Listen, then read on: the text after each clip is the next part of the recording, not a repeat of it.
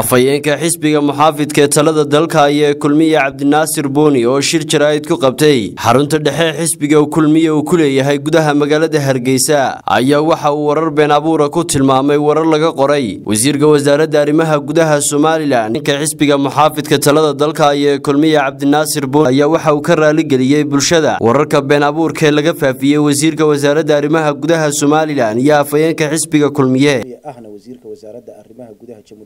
somalilan mudane maxamed kaahin axmed oo shalay dad aan mas'uuliyad u saaxiib ahayni ay ka qoreen warar aan sal iyo raad toona lahayn kuwaasi oo lagaga been abuuray guud ahaan gudoomiye ku-xigeenka koobaad ee xisbiga ahna wasiirka arrimaha gudaha iyo xisbiga talada haya ee somalilan iyo anigaba. Waxaan marka u horeysa shacbiga reer somalilan u sheegayaa in warkaasi uu yahay waxba kama jiraan aan sal iyo raad toona lahayn. Isla mar ahaantaasina ay fidiyeen dad xamas ah oo aan caqli u saaxiib aan ahayn. Ayna tahay markii la arkay awoodda xisbiga talada haya somalilan ee kulmiye iyo madaxda xisbiga kulmiye iyo xukuumadda jamhuuriyadda somalilan ee marlabaad hanatay shacbiga reer somalilan quluubtooda iyo awoodooda kuna hagaysa kuna hogaamisay horumarka baaxadda leh ee maanta guud ahaan qaranka jamhuuriyadda somalilan gees ilaa gees ka socda markii la xamili waayey ayaa la miciinsaday. Kelibyo la jarjaro dumar la soo kiciyo dad waxmagaratiyo laga hadliyo. Intaasina in aynu isku ogeyn maaha waxaynu isku ogeyn in la tartamo. Shacbiga waxaad qabanaysa aad u sheegto. Waxaanu qabanay shacbiga aanu u sheegnay markii shacbiga u riyaaqeen horumarka dalka ka socda ee qaarkuin ay shalay u arkayeen waxa weeye riyo isla ahaantaasina ay dadka u sheegeen in khiyaamooyin qaran lagu kacay ayna isla mar ahaantaasina ilaahay dib ugu ciqaabay inay wixii ay dadka ku ciqaabayeen lahaayeen. Waa in maxkamad lagu soo taago ay arkeen horumarkii inay iyagii dadka uga badiyaan oo munaasabadahoogii goobjoog u noqdaan. Taasi waxay keenaysaa mas'uuliyad darada iyo sida waxa weeye aanay maanta xilkas u ahayn dadka noocaasihi marka waxaan leeyahay intii ay dhegtoodu maqashayna waa mina shaydaani inta aynay maqalla ilaahay dhagahooga ha ka dhowro waxaana leeyahay xisbiga kulmiye waa xisbi hore u socda dalkan somalilan hogaamiye taariikh dheer le ah midda kale dadka aad ka been abuureysaan ee waxa weeye waxa iyo wax lamid a in lagaba sheegay iska daayay in lagu tuhmo aanay ahayn waa maxamed kaahin axmed gudoomiye ku-xigeenka koobaad ee xisbiga ahna wasiirka arrimaha gudaha oo ah bimacna alkelima oday qaran oo somalilan qarannimadeeda ku suntan. Da-yarta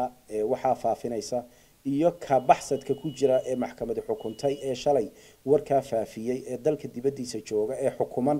iyo kuwaan mas'uuliyadda u saaxiibka ahayn en dadkuba inta badan aanay dhagaysan waxay qoraan. Ee u haysta in beijkooga iyo warbaahintooda in lagu barto been abuurka caadaysanaya in maanta nabadda iyo xornimada iyo dalkiini oo aad sidaa ugu faajafaajonaysaan gees ilaa gees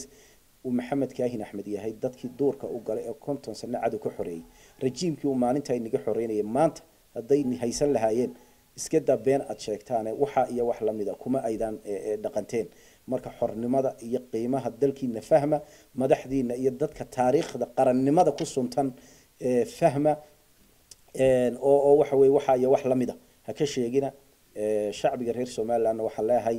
dee raggi aanu tartamaynay tamartoodii waad aragtaan in carruurta iyo dumarka iyo kelibyo laysku geegeeyo